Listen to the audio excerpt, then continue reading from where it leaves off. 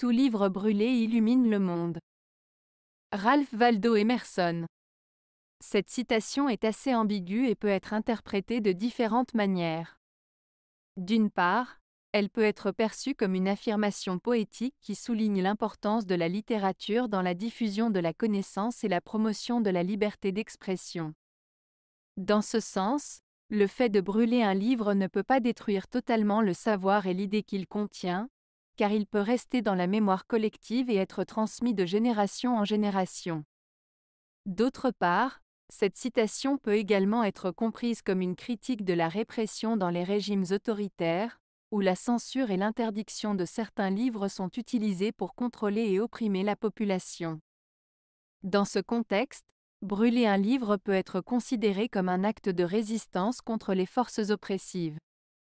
En somme, cette citation de Ralph Waldo Emerson invite à la réflexion et montre comment l'art et la littérature ont le pouvoir de transcender les frontières physiques et mentales, même dans les moments les plus sombres de notre histoire.